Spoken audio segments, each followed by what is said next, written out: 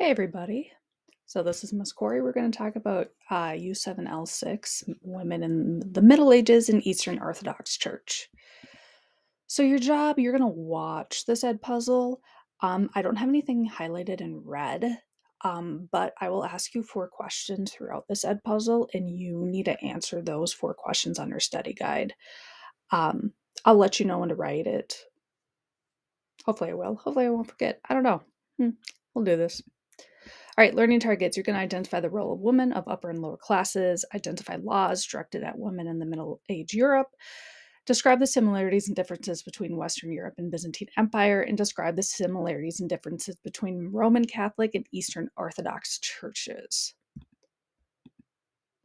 All right, so in this presentation, I have split this up into two parts. The first part is going to be about women in the Middle Ages, and the second part is going to be about the Eastern Orthodox Church. So it's pretty much like two little mini lessons into just one video. All right, so the first thing we're going to do is we're going to learn about women in the Middle Ages because you know me, I always like to put in women's history into my curriculum because uh, your textbook does a terrible job of that. All right, so why were women labeled inferior?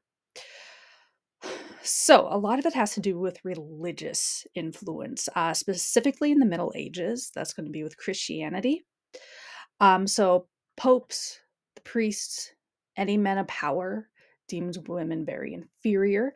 Uh, they use the justification of the biblical story of Adam and Eve, because Eve was the one who like took the apple of sin or whatever um, and gave it to Adam. So they're like, oh, women are bad because they trick men into sinning. Yeah, okay. Uh, it is a very common theme throughout medieval art. Um, you'll see it everywhere. Uh, the whole like concept of Adam and Eve. Uh, and then ruling men thought that women should just be like the Virgin Mary, which is a um, who Virgin Mary was like the mother Jesus, according to Christians. Um, so you'll see like a lot of art um, where it depicts Mary um, they thought that women should be like her because she was really religious, she was devout to God, and she raised her son. But raising kids was a really big women's role back in the Middle Ages. All right, so besides upper class, uh, women were not literate, or at least typically not. Uh, that means they can't read or write and there's also that leads to like no training of ideas long distances uh, so the women were really confined to only the like the little village especially if they're peasants like they only talk to the people in their like little village that the lord controlled. Um, there was no other spreading of ideas when it came to pre- peasants. Um, and this is the same reason why peasant men weren't literate either so, just like in ancient Rome, much of the Middle Age history is written by men. Um, there are examples of women's written work. You're going to be reading one of them next unit. Uh, it's a fable. It's actually pretty interesting. So, what do you think was the role of wealthy women in Middle Age Europe?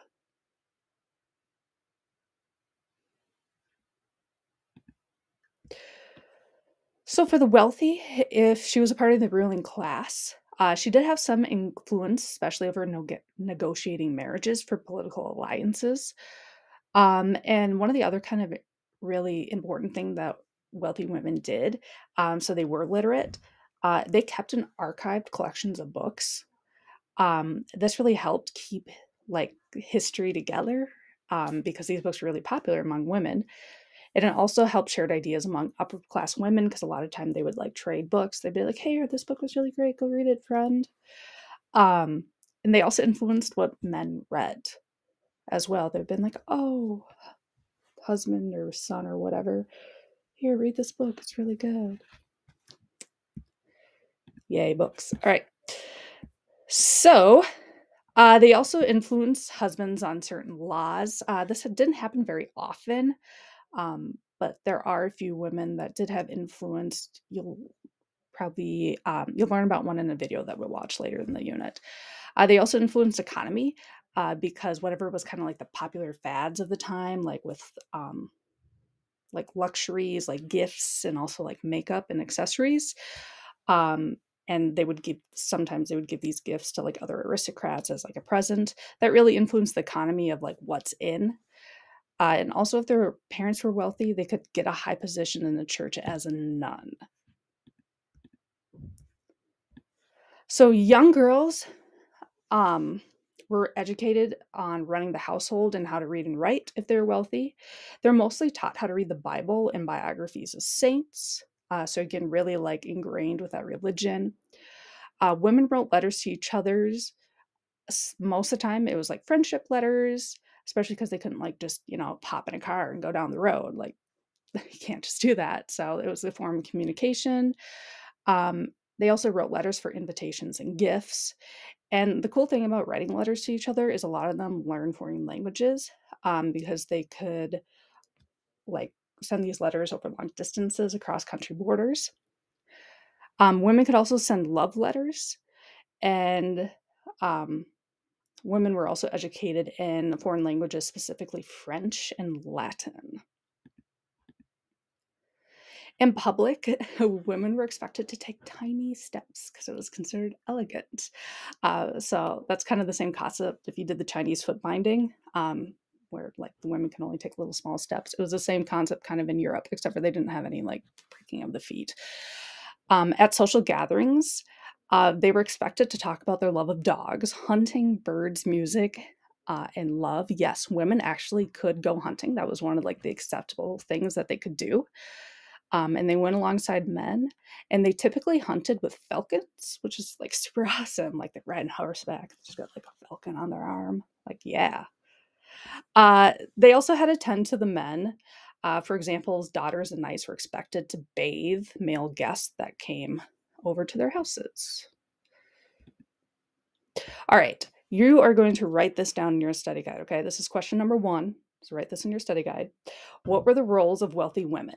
And give at least three examples, okay? In your study guide, right? All right, so don't write this in your study guide. This is just one I want you to answer on your Edpuzzle. Uh, what do you think were the roles of women who were peasants or of the working class? So, um, in peasantry, so once they're married, they're expected to manage the household, um, so that includes like raising the kids, like, you know, all like the daily chores, uh, but also finances. Okay. They most of the time they're in charge of finances. They're also harvesting fields with men. Um, so working women, so this is outside the peasantry for the few that like were in like bigger towns, they could join guilds and what a guild is, and it's an association of craftsmen. Um, typically the only guilds they were allowed to be in were dress and hat making. They mainly worked in textiles, um, and that would be like spinning wool, sewing, weaving, spinning silk. If a man did not have a job, um, but there was a woman working a job, a woman working that job, she'd immediately get fired, and the man would be put into her place. Um, so yeah, they usually worked in textiles and made beautiful things like silk. Okay, um, but they couldn't afford what they made. So they all pretty much wore just like terrible clothes, um, which were usually like gray and sad. Uh, so they were overworked and underpaid. All right, question two. Write this one in your study guide. What were the roles of peasant slash working class women? And give me at least two examples. All right, don't write this one in your study guide. This one I just want you to answer on the ed puzzle. Do you think laws in Middle Age Europe empowered women or disempowered women? Why or why not? Don't say I don't know. Like, give me an answer. Come on, think hard.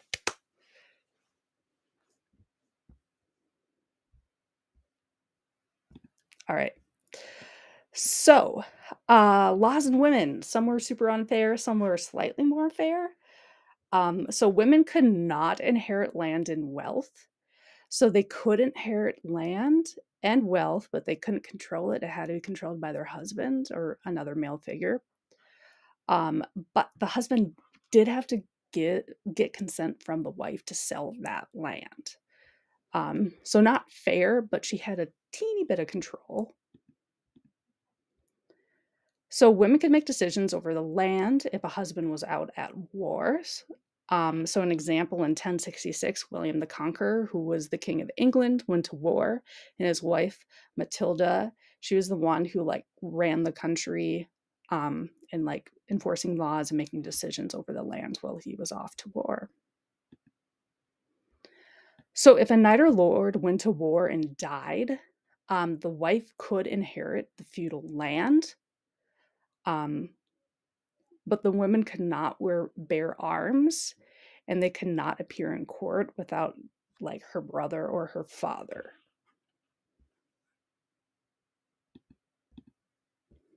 Um, husbands were allowed to beat their wives if she was if she did like a misdoing. If she was innocent, the man was publicly humiliated. Um, and sometimes the wife could just like beat him back, like in the streets, um, if he was lying all about it. So yeah, not a fun time to live in, that's for sure. All right, question three, write in your study guide. What were the laws like in the Middle Ages towards women? Give me at least two examples. All right, so let's talk about women with power. Um, so yeah, there was definitely women with power during this time period. So um, in 900 to 1200 in Salerno, Italy, women were allowed to study medicine. Actually, um, most of the time, these women became midwives, um, which is kind of like a doctor that helps with childbirth. Um, the Byzantine Empire actually had um, a lot of records, medical records about gynecological um, anatomy. Uh, but the only problem was, is in the West, most women could not read Latin, so they'd like get all this great information, but they can't even read it. Um, so Latin was the primary language used in the Byzantine Empire at this time, which is to the east. So, for example, there's a Jewish doctor from Marcellus, France. Her name was Sarah, and she took in and trained a male doctor for seven months back in 1326. All right, so there's a ton of women with power. Here's some examples, uh, some sh- such as um, Empress Engelberga, Matilda of Tuscany, Eleanor of Aquitaine, Blanche of Castile, uh, Melisende of Jerusalem, and Joan of Arc. We'll talk about Joan of Arc next semester, actually. Wow, crazy. Um, I'm just going to go and talk about Eleanor of Aquitaine because um, I thought hers was the most interesting well, besides Joan of Arc, but we'll get to her later. All right, so who was Eleanor of Aquitaine? She was actually a French princess. Um, people loved her. She had this really like strong, outgoing personality. She's very charismatic. Her father, who was the king, he died, and there were no male heirs. Uh, so she actually inherited the the throne, but she couldn't rule it by herself. She needed like a male to rule it with her. Uh, so she married Louis the Eighth, uh, she was about 15, he was about 16. Uh, so Louis the, oh, sorry, I should say eighth, not seventh, uh, and her uh, went on a crusade. We'll talk about crusades next semester, but what they were, they were like this like religious war kind of thing going on. Um, so they went over to Jerusalem, which is like, you know, the big holy city. Um, so she didn't fight in the war. Um, she just was there to kind of like on the sidelines to observe it all uh, she was really involved with whatever her husband was doing. So during the crusade, uh, Louis, this, whatever, King Louis was unhappy with her, um, and he ended up dis- divorcing her in 1152. Um, and the reason why that he was so mad at her is because she only gave birth to daughters. Uh, Eleanor was like heartbroken. She's like, "What the heck, dude?" And so she wanted to go back to France. Um, on her journey back to France, a lot of noble men were like, "Oh my gosh, if someone marries her, like we'll become king." Uh, so they attempted to kidnap her and marry her. Uh, so she traveled all the way to Poitiers, France, which at that time was actually under control of England. Okay, so like total rival kingdom. Uh, there, she was saved by Duke Henry Plantagenet. I don't know how to pronounce that name. Whatever. Okay, so she like literally just fled to enemy territory. She's like, you know what, French people, not dealing with you. I'm going to the English. Uh, that is where she married Duke Henry, and then he would eventually become King of England in 1154. So, okay, remember, whoever she married he would become the king of France. Well, guess what? She married the king of England. So now both the territory that England had and top of that, he also ruled France. So he pretty much became the king of England and France. Uh, this was kind of like revenge for the nobles who wanted to kidnap and marry Eleanor. Um, and together they had five sons. So it wasn't a super happy marriage. Henry was cheating on Eleanor with a mistress. Uh, she got super mad. She fled the castle. That's when her favorite son, Richard the Lionhearted, which I don't know. Are we going to talk about him next semester? I don't know. We'll see. I haven't decided that yet. Uh, he went to battle. Um, and while he was off in battle, she governed his land for four years. So she still held quite a bit of power.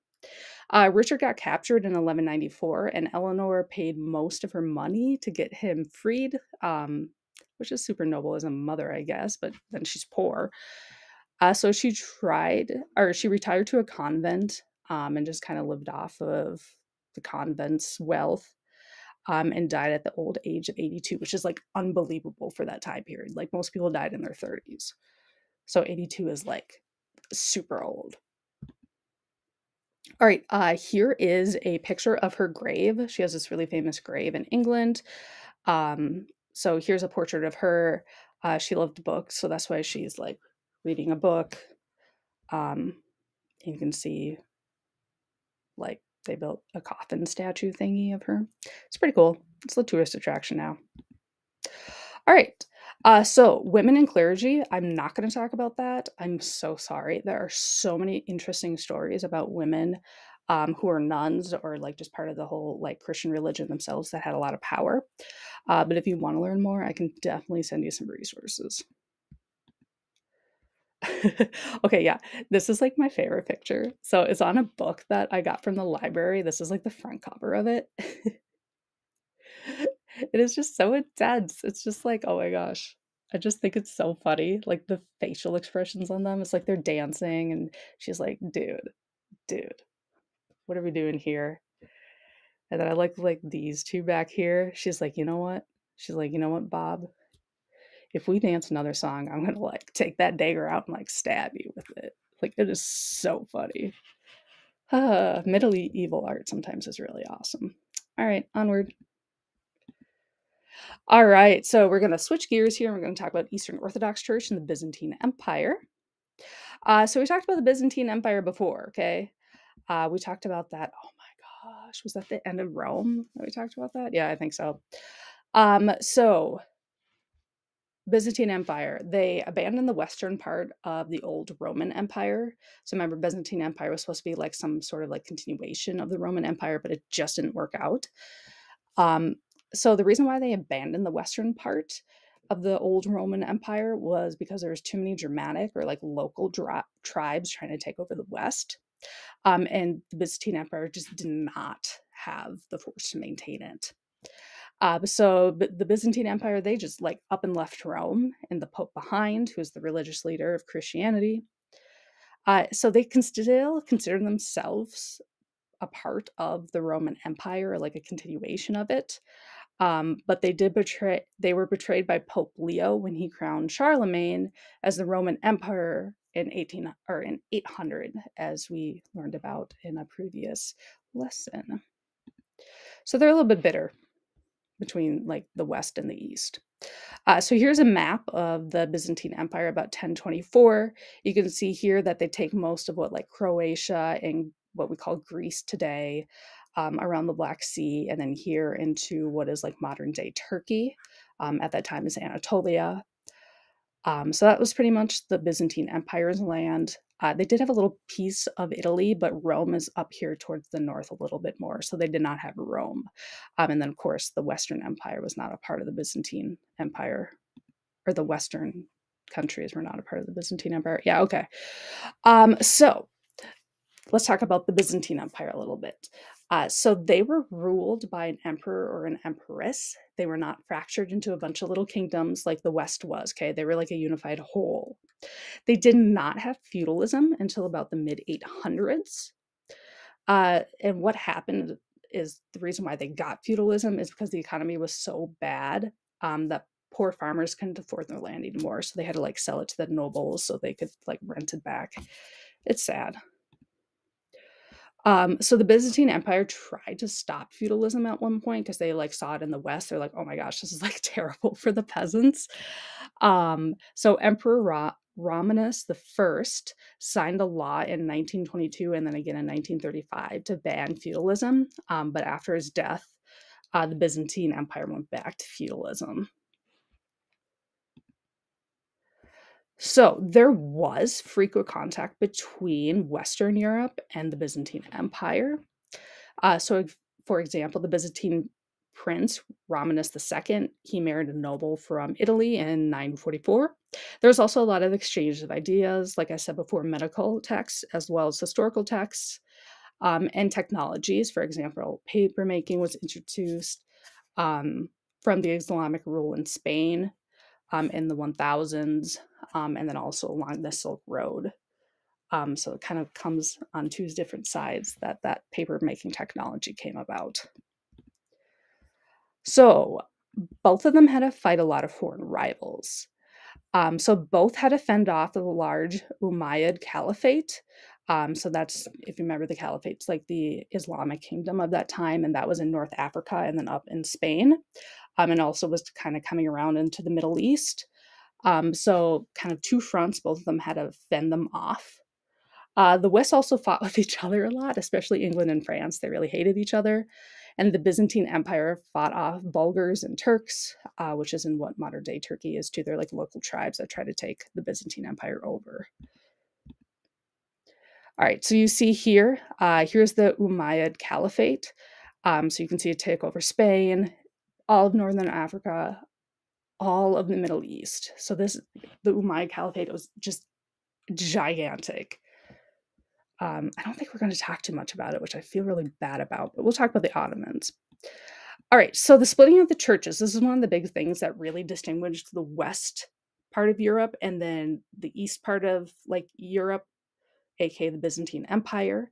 Uh, so when Constantine reigned in 306, uh, um, and between that into 1054 the catholic or the christian church was united uh, for both the west and the byzantine empire okay? So they had like the same church like mostly the same rituals same structure pope was the head of it um, and then this thing called the great schism happened in 1054 and that's when the church split into two okay? That is where in the west um, it became Roman Catholic with their capital in Rome, Italy. And in the east um, is the Eastern Orthodox. So that would be the Byzantine Empire. Um, and they had their capital in Constantinople, which is today Istanbul, Turkey. Um, and to this day, that is still the same way. Okay. They're still Roman Catholic and they're still Eastern Orthodox. Okay. It's split into two. All right, so here's kind of a map of the Great Schism, as you can see. Um, so in the west, it's Catholic, in the east, it's Orthodox. Uh, so there's four main reasons why the church split back in 1054. Uh, the first one, as we talked about already, Pope Leo, he's crowning Charlemagne in 800, and that was seen as treason in the eyes of the Byzantine Empire. Number two, uh, this seems like what the heck? Uh, but yeah, it was like a really big deal. It's the use of unleavened bread. What unleavened bread? If it's um, if it's unleavened, it means that it doesn't have yeast. Um, at communion, um, which is one of the holy sacraments, so the West didn't want any yeast in their bread for communion, and the East wanted yeast. I know it's like really yeast. I'm like, yeah, it's it's big deal even to this day. Um, so three, the wording of the Nicene Creed. If so what the Nicene Creed is. I think I talked about him or about the Nicene Creed briefly with Constantine, uh, but it's the declaration of what specifically Christians believe in. Um, that would be like the three parts of God Father, Son, and Holy Spirit, Jesus being born of the Virgin Mary, and then Jesus crucified, died, and rose to heaven. It was like this big declaration. It's a big deal uh, to, to Christianity. Um, and there is some kind of disputes over the wording of it. That was one of the other big reasons why it split. Um, oh, here's the Nicene Creed right now. That's the English translation of it. Um, and then four, if if a priest should be married or not. That was the other really big debate. Um, so in either Eastern Orthodox, um, there's some limitations, but overall, they say yes, that priests can be married, but in Roman Catholicism, they say no, they cannot. All right, so to this day, there is still a split in the Roman Catholics and Eastern Orthodox. Uh, you can find both of these religions across the globe. They are not just like exclusively split into East and West anymore. Uh, their leaders are also in a lot more friendly terms. Um, so the leader of Eastern Orthodox, um, like the title the leader is given, is called the ecumenical patriarch of Constantinople. So that's the leader of the Eastern Orthodox, and the Pope uh, is the title for the leader of the Roman Catholics. Um, and then I kind of put this up here now. Um, so here is the current um, leader of the Eastern Orthodox. So this is Bartholomew the First. Um, here's the leader of the Roman Catholics. That's Pope Francis. Um, and then you can even see this in your communities today. So, for example, um, Roman Catholic churches in Rogers is Mary Queen of Peace. There's the Cathedral in St. Paul. Um, the Church of St. Andrew in Elk River, that's Roman Catholic. Um, and then you can find Orthodox, Eastern Orthodox churches in Minneapolis or in Minnesota too. Most of them are kind of more centered into the Minneapolis. Uh, for example, here's St. Michael's Ukrainian Orthodox Church in Minneapolis. All right. Whew, we went through a lot. So, question four write this in your study guide in three to four sentences or bullet points, whichever. Summarize the differences between Western Europe and Byzantine Empire and why the Catholic Church split into the Roman Catholic and the Eastern Orthodox churches. All right, so wrap up. We talked about the roles of women. Um, we talked about wealthy women, peasants, and the working class, laws of women's, Eleanor of Aquitaine, and this difference and similar similarities between Western Europe and the Byzantine Empire, also the Great Schism. Uh, so heads up, I'll email you before you probably watch this video, but a good reminder, this is my last Ed Puzzle lecture video of the semester. Aren't you all lucky? Um, so all late missing work is due January 24th at midnight. There are no exceptions. You can't be like, oh, Miss Corie, I have one more assignment coming on the 25th. I'll be like, nope, it's already a zero. Bye. Um, I need to get my grades in by the 26th, so the 24th is the absolute latest period. Done, no buts about it. Great. All right, so I'm leaving January 20th, 23rd, and 24th open for you to get caught up with work and slash study for your final test. I'll be also opening up about two or so um, extra credit assignments that week if you want some extra credit. Uh, your test will be posted on the 25th and 26th. You must complete the test on either the 25th or the 26th. No exceptions. If you do not do it, then it is zero. All right, so next up, you are going to complete U7L7, Women's Writing in the Middle Ages. After that, you're going to do the U7L8, L9, and L10 History Channel, the Dark Ages. I just split the whole video documentary up into three parts, so that's why it spans over three lessons. Uh, answer those questions on your study guide. Do the review Kahoot, that is optional. I'm not grading that, but I will tell you right now, it is very helpful for this test. Um, and then you're going to take the Unit 7 test, okay? If you have questions or comments or want to learn more, you're more than welcome to email me or come to office hours. Yay! All right, that's it. Bye.